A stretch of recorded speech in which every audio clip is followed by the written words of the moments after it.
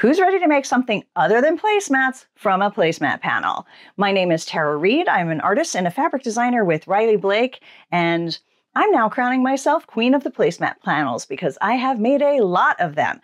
Today, I'm going to share how to make a super simple tote bag with two placemat panels, fabric, fleece, and some straps. This is a great project for beginners and also to teach kids how to sew if you have some short ones around that have been eyeballing your sewing machine. So let's get started. Here's what we need to make our placemat bag. We need two placemat panels, two strips with the fabric, three and by three inches wide, a piece of lining fabric, and I'm going to use make this out of one piece instead of cutting it into two. And we'll trim that in a few minutes. And then a piece of batting or fleece. And I'm going to use Pellon 987F, which is a one-sided fusible fleece that I'm going to fuse onto the lining and not the outside. First, let's talk about these panels. The first bag that I made right here, I used two panels that didn't have any text on them because it's a little bit more forgiving if you don't cut or sew exactly straight. But my panel has three images with words and three without. So we're gonna try it with words and see if it looks too crooked. We'll see. I'm going to use this one as my basis for all of my stitching to try and get it all lined up and gorgeous and we'll see how that goes. The first step is to prepare your panels. So I got these straightened, ironed, and cut with a quarter inch all the way around the designs. Now I'm going to put them right sides together and make sure you're paying attention to your direction. So you want the bottoms to be matching not this way, or your bag is going to have one design upside down, and who wants that?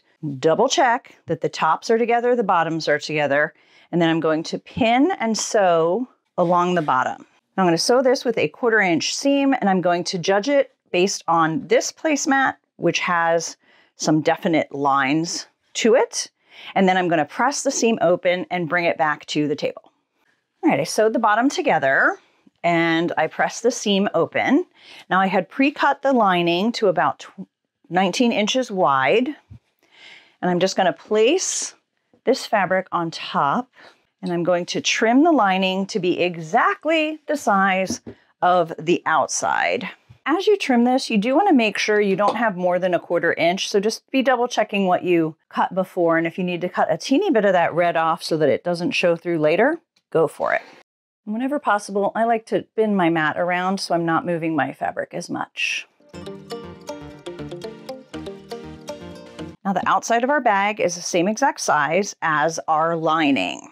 Now I'm going to take a piece of fleece and I'm going to make sure the adhesive side is up. I'm going to put the lining right side up so that the adhesive is going to be on the wrong side of the fabric. So I'm going to cut this to size and then I'm going to take it over to the ironing board and I'm going to fuse the fleece onto the lining following the manufacturer's directions, which come with your fusible fleece.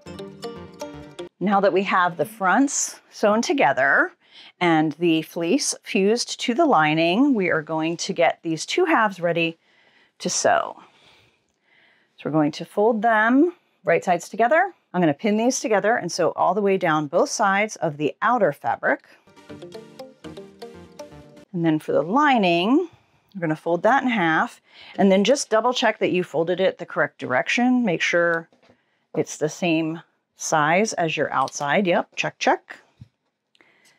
And on this one, we're going to sew all the way down one side, but on the other side, we're gonna leave an opening to turn. And if you wanna put a tag in, you wanna put that in now and about an inch down from the top so it doesn't get caught when you're sewing the top part. And then make sure the raw edges of your tag match up with the raw edges of your fabric. And then just so I don't get on a roll and forget to leave that opening, I'm gonna double pin so I know that I wanna leave this space opening this space open for turning later. If I forget, not a big deal, you can use a seam ripper and open a hole so that you'll be able to flip this. So let's go back to the sewing machine.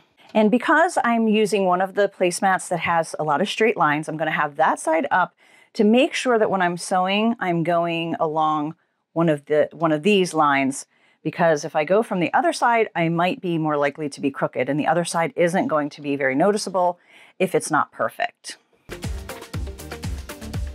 When you get to the end, because we had these pressed open and we want them to stay pressed open, fold them so that they're open when you stitch over them and not like one hanging down. Now on the lining side, you wanna do a slightly larger seam allowance because it's gonna be inside the outer bags. And then remember, on one of the lining sides, we need to leave a few inches open for turning, so I'm gonna do that over here. I do like to go back and forth a few times on the sides of a opening area, just so it reinforces the stitching and they won't rip as you're turning your bag right side out.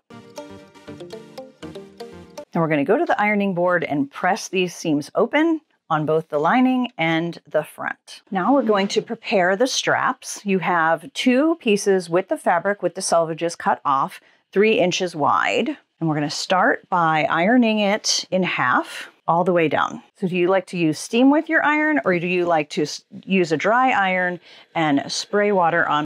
Leave a comment and let me know which you prefer and why. Now we're going to open the fabric and we're going to iron each side where the raw edge meets the fold in the center. And it's much easier to just do one side at a time. And make sure you don't iron across that fold because you don't want to unfold it. Once you have that all folded in, then you're going to go back and you're going to fold it and press it in half one last time. And if you want a wider strap than this, you're just going to cut an, uh, your original fabric a little bit wider. Now we have the lining and the outside sewn together, seams pressed open, and two handles. So what we're going to do is we're going to take the lining and we're going to turn it right side out. All right, so I'm lining this up along one of the lines of my grid, and we're going to clip the handles on each side. So you're going to do raw edges to raw edges, four inches from the side. So one, two, three, four, we're gonna clip it right here. And then one thing to make sure is that when you bring your handle around, you don't want it to twist because if you sew it twisted, it will forever be twisted. So you don't want it to like be like that. This is how I like to make sure. I run my hand along here and make sure we put this side down. One, two, three, four. So we're gonna clip this one right here. I'm going to turn it over and do the same thing on the other side, making sure that I line the handles up. So it will be basically four inches, but not only counting four, but I basically double check that this is the same spot on each side. Check that side and clip. Now I'm going to take this to the sewing machine and I'm going to sew over each of these at about a quarter inch. And I'm going to actually sew it, not baste it, back and forth twice just to reinforce those handles a little bit. We're so close. Now we have the handles sewn onto the lining and we are going to put the lining inside the outer images right side to right side. So we're going to keep this inside out, that in, and you're going to match the corners. I like to start by clipping the seams. So I'm lining up the two seams there on the side and clipping that. I'm going to do that on both sides, and then we're going to deal with the handles. All right, so you don't want the handles out here. You want the handles in here. But we also need to make sure that they are flat at the very top where we're going to be sewing this together with a half inch seam. And I like to do a half inch out here just to make sure everything gets put together nicely. So I, I flatten that out, line up the, where the handles are and clip that, and then also clip the middle. You want to make sure you have enough clips to get these top raw edges lined up because it will be a little bit bulky with all this handle in here. So this part's not going to be flat. This is the part we need to pay attention to because that is the area that we will be sewing. So that's pinned together nicely. We're going to take it to the sewing machine, sew all the way around with a half inch seam allowance. You're going to double back again where you see the stitching for the handles, just to reinforce it again. Not that we're going to be carrying bricks in this bag, but you don't want your handles to fall out. So you're just going to turn this right side out. And what I like to do when I'm turning right side out to put less strain on the, the tips is turn, flip that right away. So it's not straining the stitching as much and it's just going through the folded down fabric. So see like that instead of leaving it like that to pull as much. Now you have two choices. If you don't want anyone to know where you turned it, you can take this and hand stitch this closed. I, however, don't feel a lot of people are going to be inspecting the inside of my tote bag, so I am going to just do this and I'm going to sew along there. It won't look as perfect, but it will be done a lot faster. Then the big question is, did I get both sides all the way down? Yes, I did. So that's awesome. What we're gonna do now, we're almost done. If there's any threads hanging out in between, you can just see if they pull out gently or snip them. Now we're just going to shove the inside, the lining, into the bag. And I'm going to press around the top edge. I don't want the lining showing like that. I'm gonna make sure that it's pressed really well. So all I'm seeing is the placemat. And then I'm gonna come back and we're going to stitch a border and we're gonna be done. When you top stitch about a quarter inch from the edge, you want to make sure that your straps are away from the bag. So on the opposite side, because you don't want to have them caught down here and then they're hanging in the wrong direction. So just pay attention to that as you put this onto your sewing machine.